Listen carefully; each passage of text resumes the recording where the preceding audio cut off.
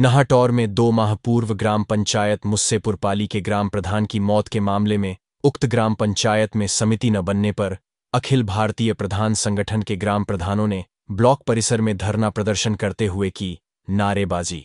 BDO को सौंपा ज्ञापन। जानकारी के अनुसार, दो माह पूर्व ग्राम पंचायत मुस्सेपुर पाली के ग्राम प्रधान मुमताज़ अहमद का आकस्मिक निधन हो गया था, जिससे ग्राम पंचायत के विकास कार्य ठप हो गए। दो माह का समय बीतने के बाद भी, उक्त पंचायत में समिति का गठन न होने पर, अखिल भारतीय प्रधान संगठन के ग्राम प्रधान ब्लॉक कार्यालय पहुँचे और धरने पर बैठ गए और जमकर नारेबाजी की।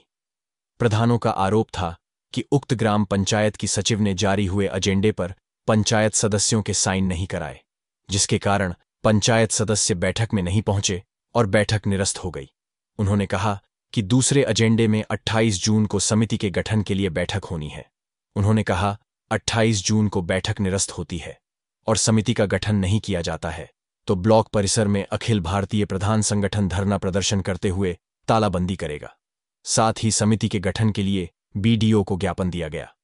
इस मौके पर ब्लॉक अध्यक्ष यशपाल सिंह, शकील अहमद, प्रशांत कुमार, अतीक अहमद, फरमान अंसारी, हाजी मोहम्मद फारूक अशोक कुमार ब्रह्मपाल सिंह निसार अहमद मुकेश कुमार आदि मौजूद रहे।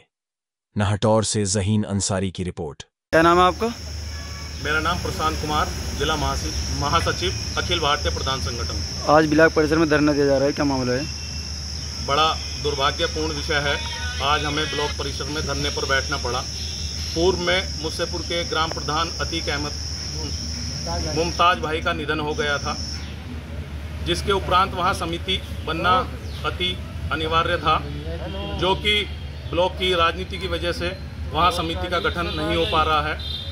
अनेकों बार हम ज़िले के अधिकारी और विकास खंड के अधिकारियों से मिल चुके हैं, लेकिन वहाँ अभी तक समिति का गठन नहीं हो पाया है।